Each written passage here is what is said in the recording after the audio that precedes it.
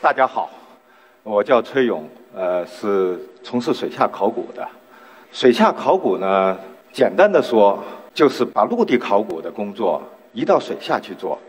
但是呢，要移下去，其实并不简单，因为它是建立在工程和科技的发展上。这个水下考古的诞生有一点契机，就是一九四三年，法国的一个海军军官发明了自携式水下呼吸器，叫水肺。因为这个水肺的发呃发明呢，人呢就可以进入了鱼的世界。如果大家潜过水就知道，潜水其实一个很惬意的事情。呃，因为这个发明，人类又有本身又有一个保障的情节，又有探险的情节，还有怀旧的情节。这些情节加起来，使这个人工水肺的发明，最早关注的就是古代沉船。这个就是库斯托，法国的海军军官。我们一般的水下考古呢，就是程序上是这样的：上面一条驳船，下面的是遗址，中间是个人干的各种个人的事儿。这是日本在叙利亚的一个工作的一个图解。这个是理想状态下的水下考古，这个是我们经常干的水下考古。这是中国的一个特点，就是浊水考古。这个呢，就是南海一号，它能见度仅仅有二十厘米。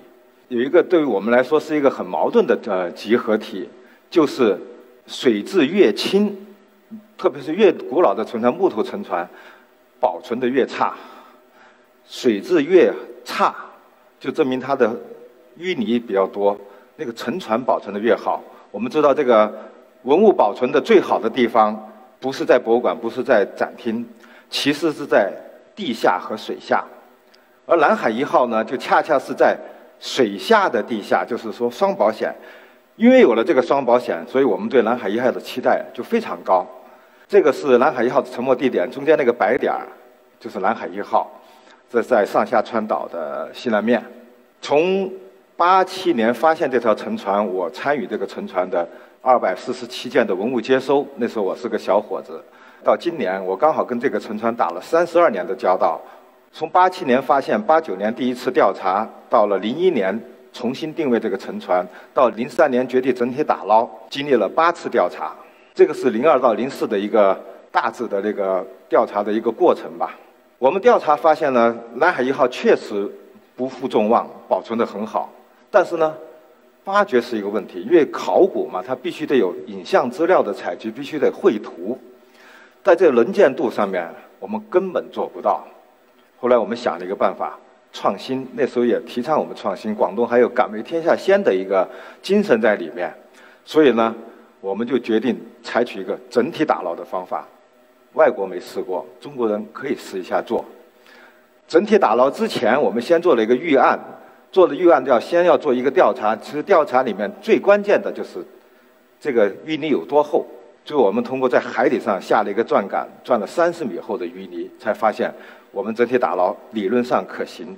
后来我们又设计了一个巨大的钢沉箱，就是长十呃三十三米，宽十四米，高七米。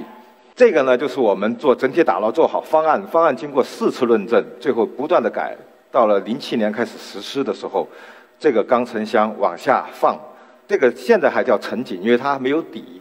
这个是在水面的时候，我可以给大家看一些这个放的那个图片。但是呢，到了水下，大家就看不到了，只能做一些示意图。第一步定位放下去，第二步用这个水泥块把它压到设计标高，第三步把周边的淤泥挖开，第四步横穿三十六根底梁，第五步把它这个上下层井分开吊起来，第六步浮上水面。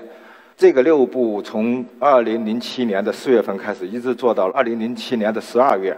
这个出来以后，大家又可以看到南海一号了。这就是起伏的时候，这是二零零七年的十二月二十二号。还有一个就是说拉移这个工作呃是比较成熟的技术，就是从那个南海一号点拉到阳江海事馆对面。建这个沉船呢，我们是有个考虑，就是捞上来是可以，捞上来放哪儿还得要考量，因为沉船捞上来以后，如果要是说没有找一个很好的地方放置，捞上来很快就会坏，其实是一种破坏。所以我们在零四年的时候。决定做一个博物馆，然后就通过设计招标，然后施工。零四年年底就奠基零七年的上半年完成了这个博物馆，就是南海一号的家。这个沉船从水底捞上来有多重呢？加上船体的重量、船货的重量、泥的重量和沉箱本身的重量，总共是五千五百吨。当时中国最大的一条起吊船起吊能力是多少呢？四千吨，叫华天龙号，就在广州就捞打捞局。这条船当时是亚洲第一吊，世界第六吊。当然现在有一万吨的，但是一万吨的做这个港珠澳大桥的时候已经上了，那时候没有。所以呢，它只能吊离海底，吊不出水，因为它有两千多立方，它有两千多吨的这个浮力，还有它的冗余是三千五百和五百吨的那个呃重量冗余就可以吊离海底。然后又用一个一万六千吨的浅泊，浅泊就是潜水艇，就是工程潜水艇，灌上水，这个沉船就沉下去，然后把那个吊来放在一个前泊上面，前泊再排水，它就能把它浮上来。那个吊车再往上吊，这两者相加，最后我们把南海一号从水底吊上来，拖到了水晶宫旁边。但是这个博物馆离海边还有四百多米的距离，当时我们又。采取了一个方法，要把这个五千五百吨的东西从海边拉到博物馆的水晶宫里面。首先是铺条路，这是最笨的办法，但是这唯一的办法。这是怎么拉动它呢？就采取了一种，就是说一个大木头下面放一些滚木，推一下，后面那个滚木移到前面去，后面那个滚木移到前面去。但是这个沉箱太重，这滚木是不可能的。但是我们采用了气囊，有十六根气囊作为这个滚木。就是把气囊放到垫子下面一充气，把抬起来，每一根气囊的承重是四百吨，十六根呢刚好是六千四百吨，远远超出这个南海一号这个沉箱的重量。用滚木的方法排气、充气、排气、充气，然后牵引进了博物馆。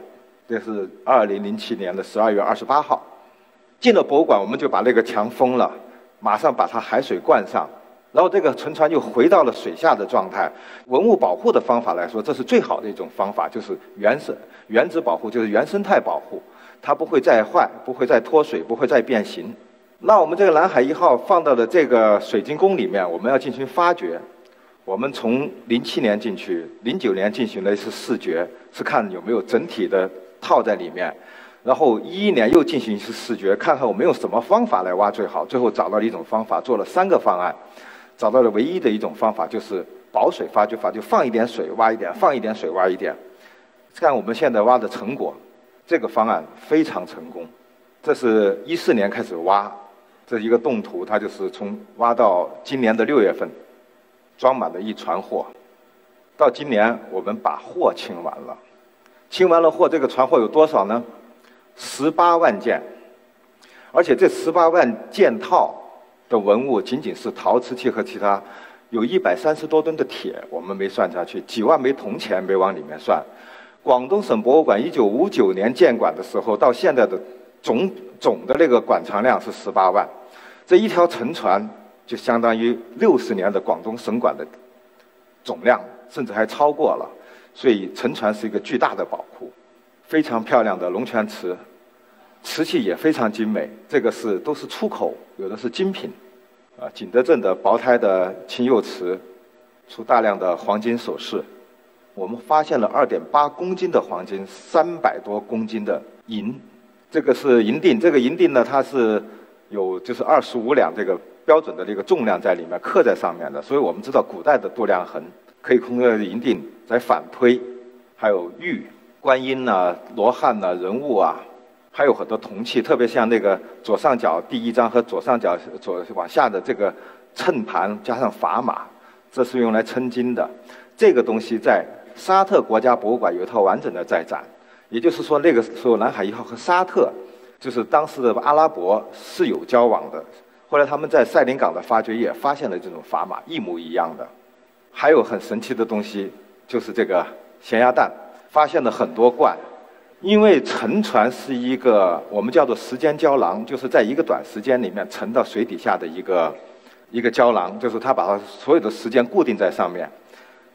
船上有很多人，他这个人呢要在一个时间单位里面，要保证所有的东西，要保证这些人的基本生存，它就是一个最小的生存单位，和最小的等级社会，从船长到一般船员到水手，这个从来没有人看过八百年前的船是怎么装载的。现在我们用这种方法，让我们自己让公众都看到了。那后来有人给我提了一个问题，他就说：这十八万件里面，你选选南海一号最有代表性的东西是什么？很难，但是我可以给他定个标准。第一个标准就是唯一性，它只有一件；第二个标准绝对不是常用的东西，一定是个艺术品；第三个标准还能反映出当时人们对这件艺术品的审美的情趣。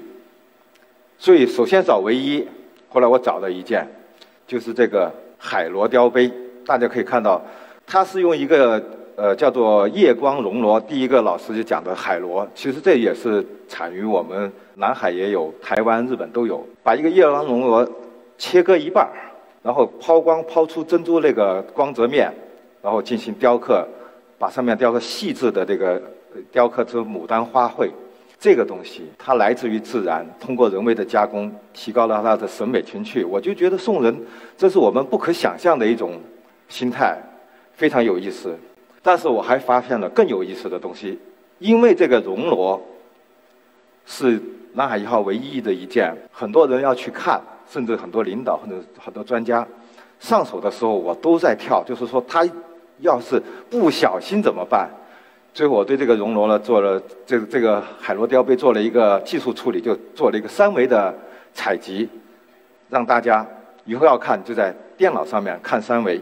后来我发现一个奇特的东西，这是这个三维，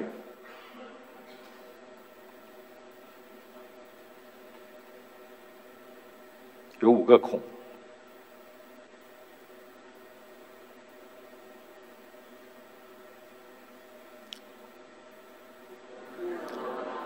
这是什么？这个是海上丝绸之路博物馆，这个博物馆是零四年设计的。